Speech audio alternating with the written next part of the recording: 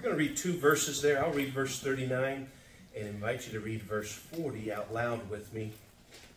Deuteronomy 4, verses 39 and 40. We'll read 40 all together. the Bible says, Know therefore this day and consider it in thine heart that the Lord, He is God in heaven above and upon the earth beneath. There is none else.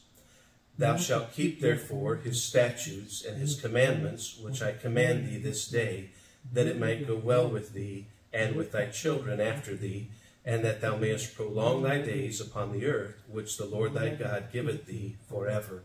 And let's pray. Heavenly Father, thank you for bringing us together this evening. We thank you for giving us your word and keeping it pure and perfect. I pray, God, that you would meet with us.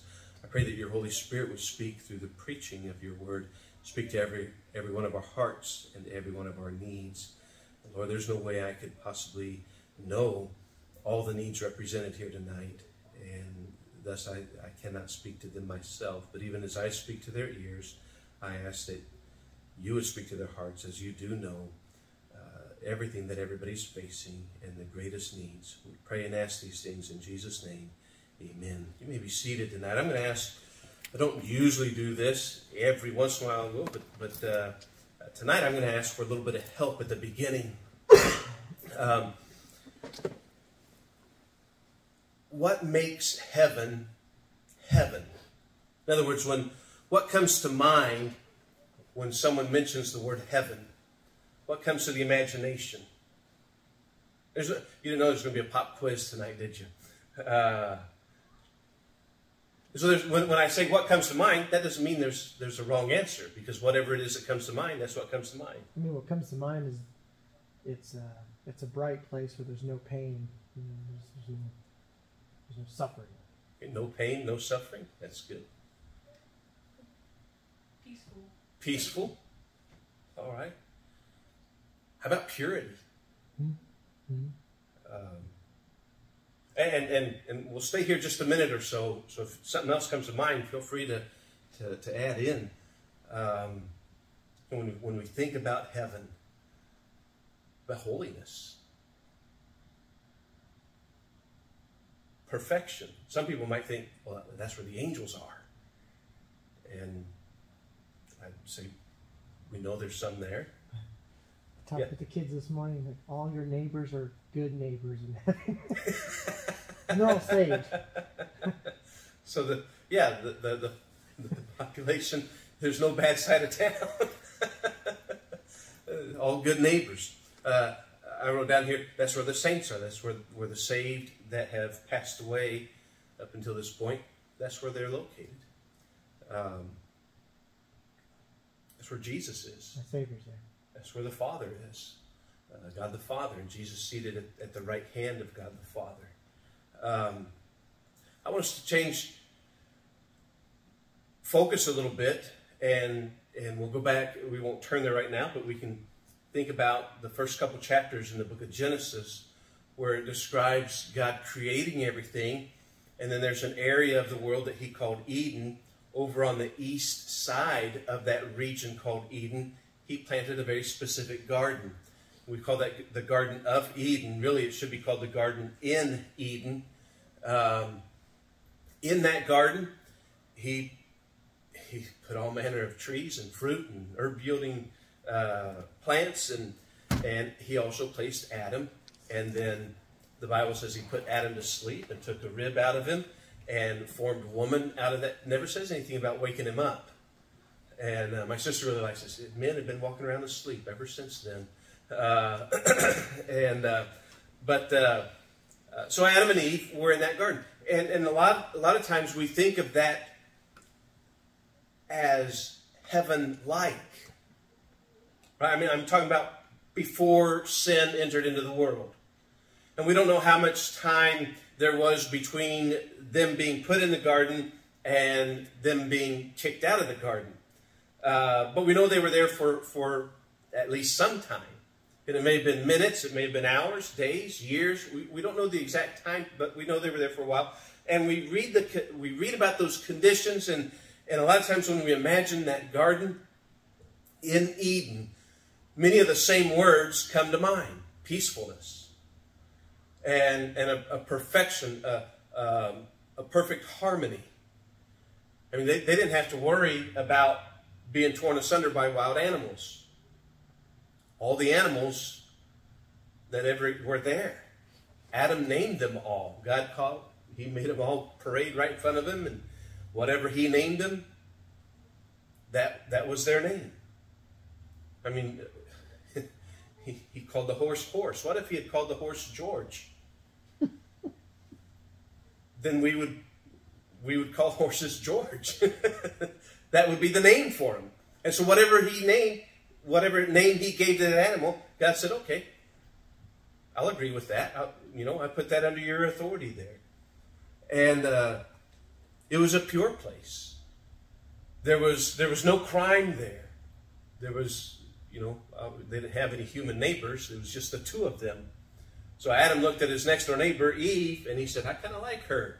And uh, she looked at him and said, He's the best husband on the planet. Mm-hmm. Um, and, uh, and, and, and, they were both right.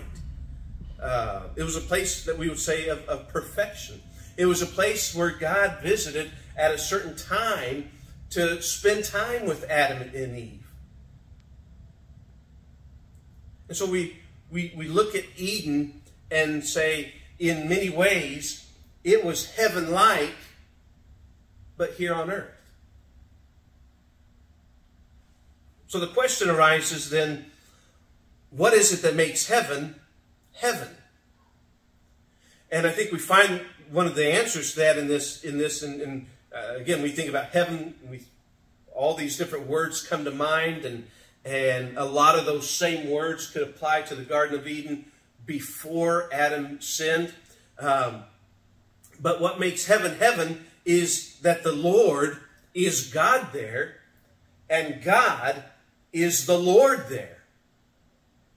And, and, and you know, prior to, somebody said, yeah, Eve, she ate Adam out of house and home. Uh, but it wasn't, uh, it wasn't Eve that brought sin into the world. It was by one man that sin entered in the world. But what made Eden, that garden in Eden, heaven-like, was that the Lord was God there. And God was the Lord there. When we think about Lord, that's a, that's a title of authority. And, and it's a title of, of, of someone to whom we are submitting. You know, people say, he's going to lord it over everybody, meaning he's exercising his authority over people. And, and they are submitting to that authority. And, and God is to be the Lord. We're supposed to have, here's one of the, the problems when, when uh, Pilate said, do you want me to release Jesus, the King of the Jews? And the Jews said, we have no king but Caesar. They didn't recognize God as their king. They didn't recognize Jesus as God. And they rejected him. And they said, we'll adopt Caesar as our king over him. It was a dark day in the history of the nation of Israel right then. But uh, uh, what is it that makes heaven heaven? Well, God is God there. God is the Lord there. The Lord is God there. And then everything that he says, you know, nobody says, well, I just don't think it ought to be run that way. Well, he says, I'm going to write a, a, a, book of things you'll never hear in heaven. Hmm. It's not the way I would have done it.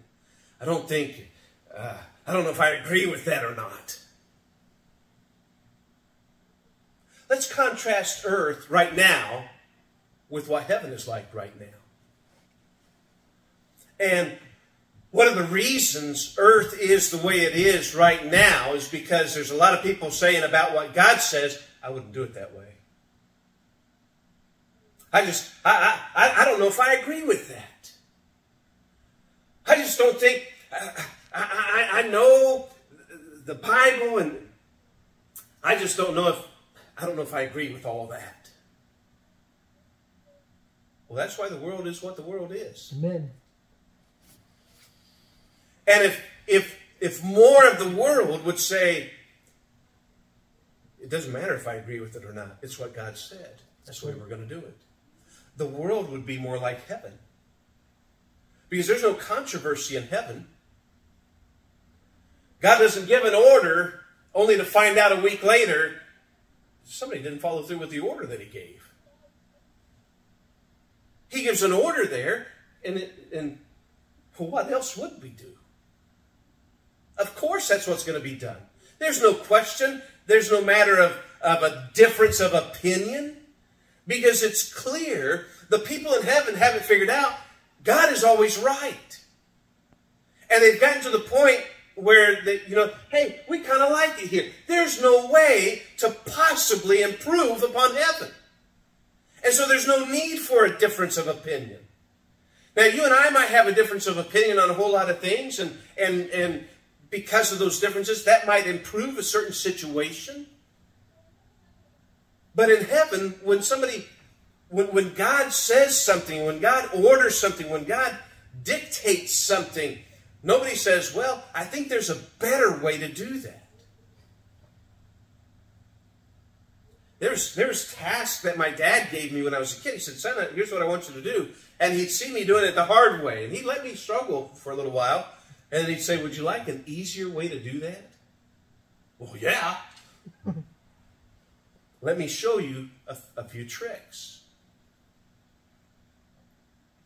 I, I worked with a uh, for a guy once, and, and he he'd say, "Go out there and do this," and I'd go out and start working on it, and some tool I'd never used before, and he'd say, "Here, let me show you a trick I learned in the Orient." He had never been to the Orient, uh, but it was just a, a, a little easier way to do that.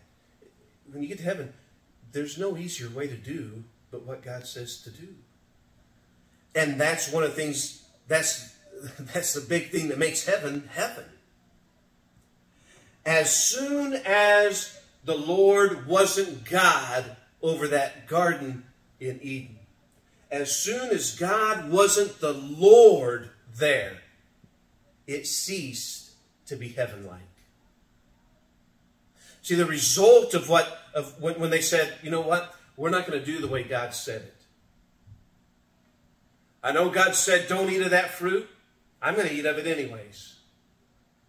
I know God said, I would die if I ate that fruit. And Satan came along and said, You're not really going to die if you eat that fruit. Well, who was right? Because Adam's not around here anymore. He died. Mm-hmm. He instantly died spiritually. And then years later, he died physically. Until that fruit had been eaten of, there had been no death. Sin entered in this world, or I'm sorry, death entered into this world by way of sin. Mm-hmm. Before sin, there was no death. and so, up until that fruit had been eaten, everything and everybody was going to live forever. Adam ate of it, and he lost that. And he lost it for all of us because we're all descendants we were all born of him. I, I don't know, it's, it's many, many generations ago, but uh, you can trace it. Everybody's family tree goes back to that one root.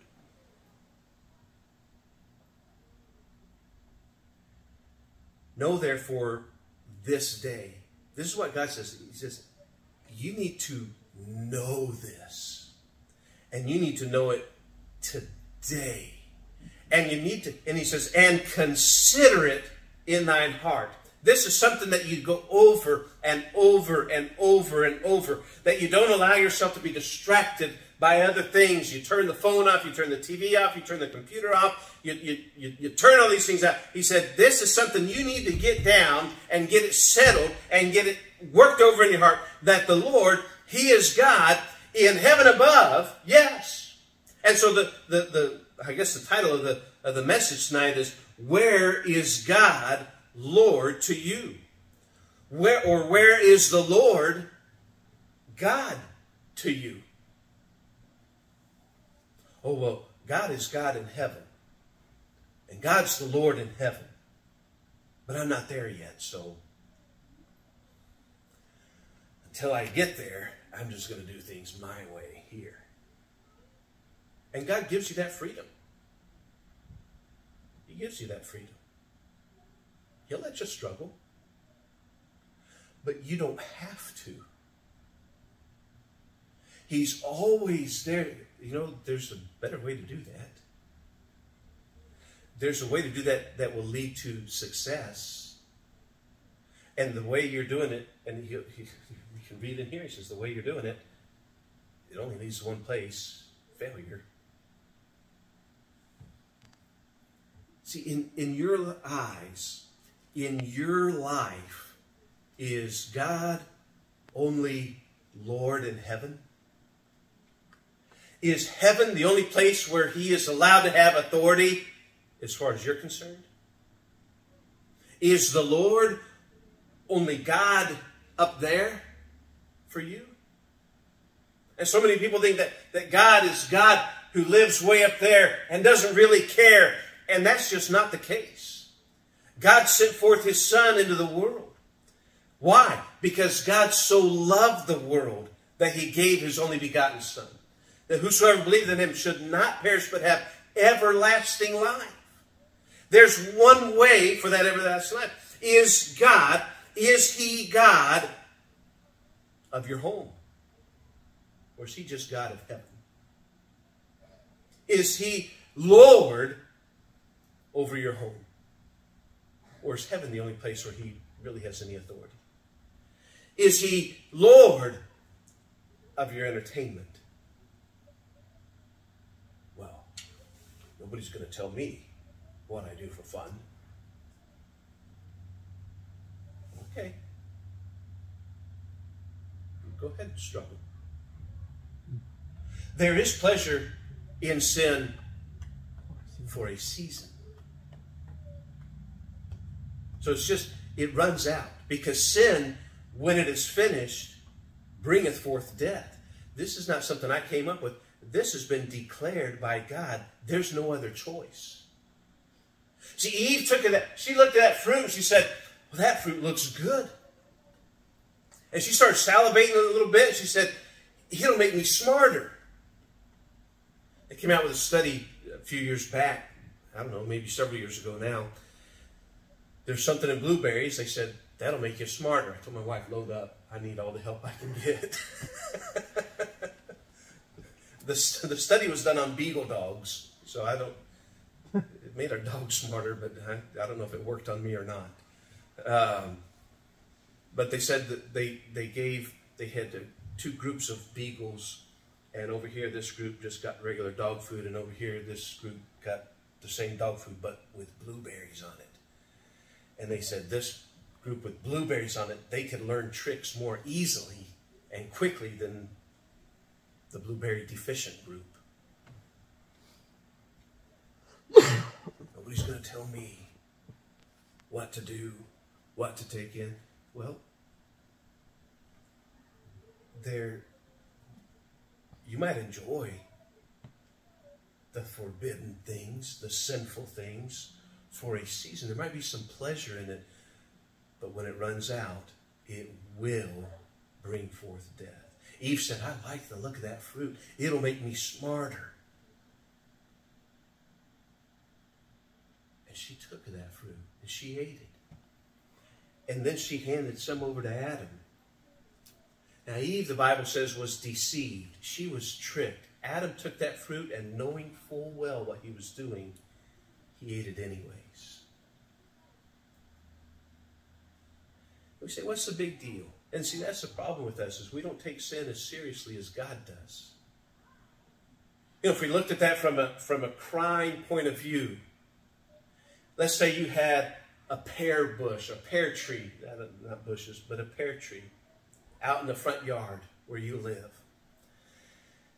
And after school one day, some kid's walking home from school, and of course, he's been in school all day, and, and it's just worn him out, and he's hungry. And he can't wait those four more houses to get home. He needs, there's a pear. And so he reaches up and he grabs a pear off of your tree. And you run out and stop him, and you got your cell phone, and you're dialing 911. And they say, 911, what's the emergency? I caught a 10-year-old kid stealing a pear off of my tree. Red-handed. In fact, he's got two. He put one in his backpack and had a bite taken out of the other one. Sir, what, what's the emergency?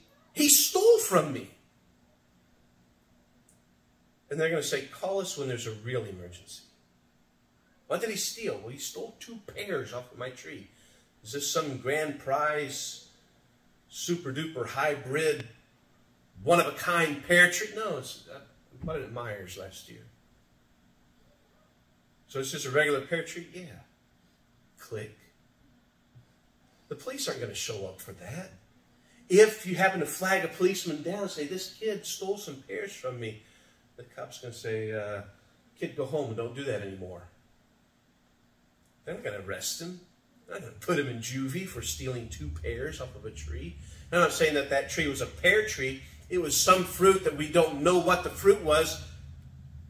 But because of, at the most two, maybe she took a bite out of the one and handed the same one over to him. We don't know. At the most, it was two fruit. God said, I'm willing to condemn all humanity of all time, you two, and everybody else, the billions from here on out, to hell because of that. We think, really?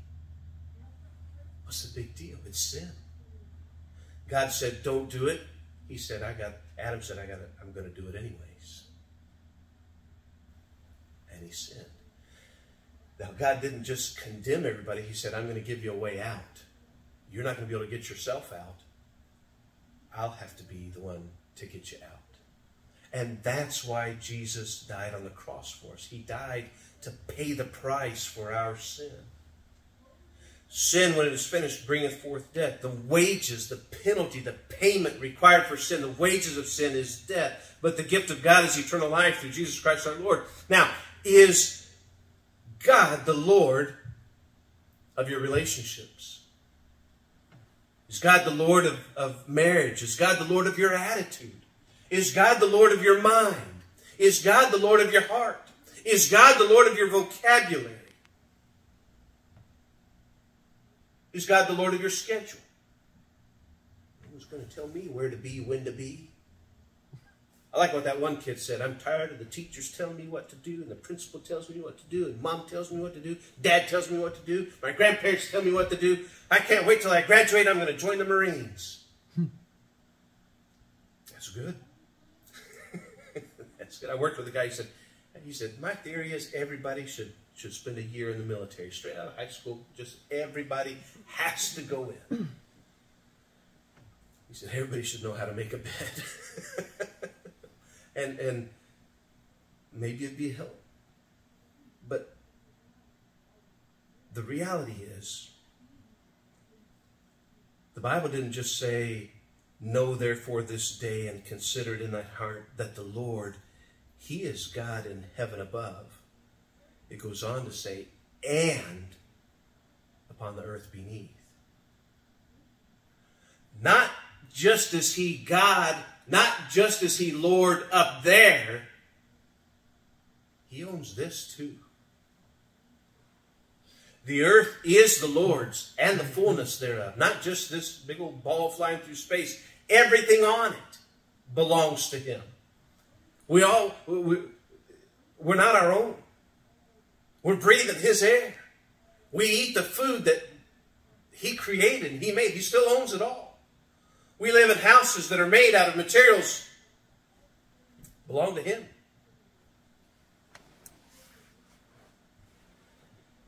And the sooner you find out that where God is God and the Lord is Lord, that place is heaven like, regardless of the surroundings or the environment. See, when, when we actually take a look at the description of what heaven is like, and we look at the description of what Eden is like, well, I think Eden has a lot more trees although there are some trees in heaven, there is some water in heaven. Uh, we can read that. The Bible talks about several rivers going through where Eden was. Um, but then there's a lot of other things that, that seem to be different. Heaven has the throne room of God. Eden didn't have that.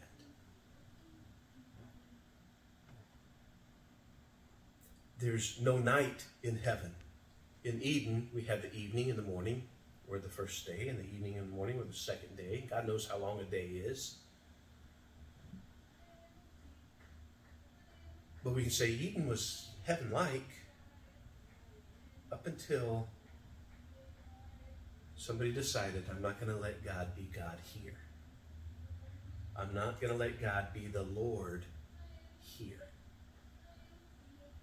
And God said, Guess what? You don't get to stay there. And Adam and Eve were cast out. Unless they turn around and try to go back in, he said, I'm going to put an angel, I'm going to put a flaming sword here to keep you out that turns each way, and, and you're not going to be able to get back in. And then that whole region was destroyed in the flood uh, several generations later. But as long as God is allowed to be the Lord, see, we can we don't have to wait to get to heaven to have a taste and a little bit of heaven here. All we have to do is allow God to be the Lord here. If I let God be the Lord, if I if I allow Him to have authority over my household, I can have a little bit of heaven in my household. I don't have to wait till I get there. Like I, I already have, I've already got my ticket, but I'm not in a hurry to get on the next bus heading that way. So in, in the meantime, God didn't just want us to have heaven there. He said, "There's a way you can have it here now." And so he said in verse 40, Thou shalt keep therefore his statutes and his commandments, which I command thee this day, that it may go well with thee and with thy children after thee, and that thou mayest prolong thy days upon the earth, which the Lord thy God giveth thee forever. I'd like to live longer. Well, God said, I've got some rules that'll help you with that. No, I want to do it my way. That's not going to work. That's not going to work. Let me let me give one one specific area, and we'll finish. There's a lot of people they're trying to work their own way into heaven. Jesus said, "I am the way, the truth, and the life. No man cometh unto the Father but by me." He said, "If you want to get to heaven, there's only one way." It's not you. It's Jesus. It's Jesus. I was watching, there's a family that has a, a YouTube channel, and, and uh, uh, their kids kind of started it, and now mom and dad have gotten more involved in it. But they were talking last night. Somebody was asking them about salvation and, and eternal security, and and they were trying to present this well, you can be good and you can obey the commandments and that'll get you into heaven. And the man said, No, the commandments were not given as a way to get into heaven. The commandments, the Bible tells us the commandments serve as a mirror. The law serves as a mirror. You know, a mirror doesn't wash your face, it shows you where it's dirty. Mm-hmm. If you want to shave, don't use a mirror to cut the whiskers. The mirror will show you where the whiskers are. You use something else to wash. You use something else to shave. The mirror just shows you where it needs to be done. The law does not get us to heaven, it shows us you can't get yourself to heaven. God said, Hear, O Israel. He said, Listen, the Lord thy God is one God. Thou shalt have no other gods before me. Have you ever yielded to somebody or something else before you yielded to God? Thou shalt not take the name of the Lord thy God in vain. Would you, would you consider using your mom's name as a curse word?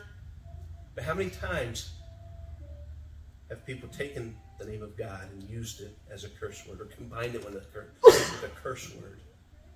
They're taking his name in vain. They blasphemed the name of God. It's something he takes very seriously. So I, I, I don't say it, I just write OMG, which brings the thought of you're conveying that communication to somebody else. Same thing. You looked upon somebody to lust after him. Jesus said, if you do that, you've committed adultery in your heart. You think God's going to let uh, an adulterer who's blasphemed his name to go right into heaven? Well, he'll weigh my good with my bad. He was willing to condemn all humanity over the theft of one fruit. And, and by the way, up till that point, Adam had all 100% good on one side of the scale and one bad on the other. If it was scales, he'd have been okay.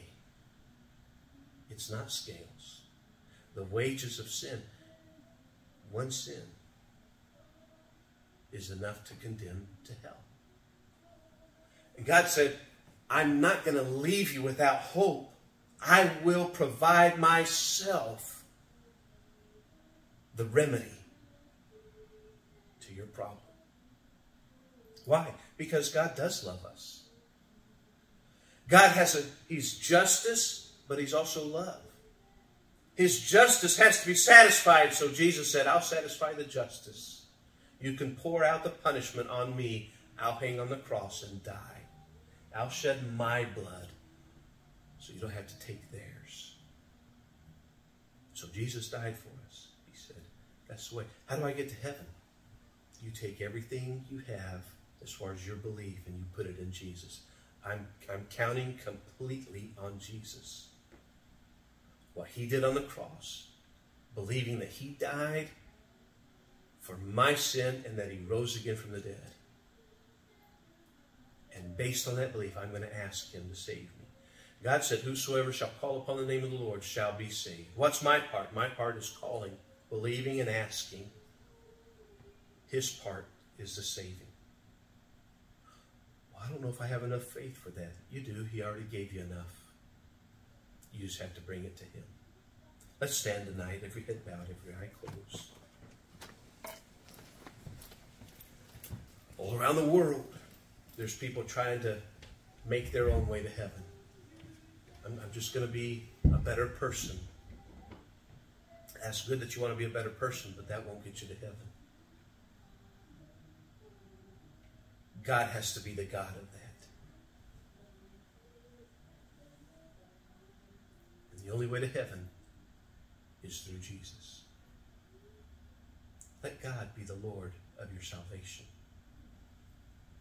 so that it's done right.